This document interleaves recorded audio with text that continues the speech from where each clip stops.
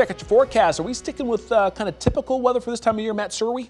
Uh, that's exactly it. Yesterday was a lot colder than what we would expect for Halloween, and today, typical weather for November 1st. Temperatures low to mid 30s right now. Factor in some south winds at about 10 to 15 miles an hour. It feels like the upper teens and low 20s for a lot of us. So a colder morning. No way around that. Plenty of clouds cross the region, and you would think, looking at this radar composite, which takes in data from all the radar sites surrounding us, you would think that there's a ton of snow over us, but no, in actuality, that's the Grand Island radar dominating because the National Weather Service radar out in Valley down for some upgrades. But we have our own Super Doppler 7 radar, and this is actually what's reaching the ground right now. Maybe some sprinkles mixed with flurries around Missouri Valley, toward Logan, heading toward Woodbine. Not a lot of precipitation actually reaching the ground early this morning because we have some very dry air in place. Nevertheless, it looks like uh, especially north and east of Omaha within the next hour or two could have a sprinkle or a flurry. Plenty of clouds through noon, temperatures in the low to mid 40s by midday.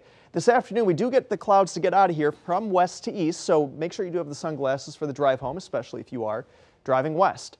Temperatures say topping out in the low to mid 50s in Nebraska, upper 40s and low 50s because the clouds linger a little longer in Iowa.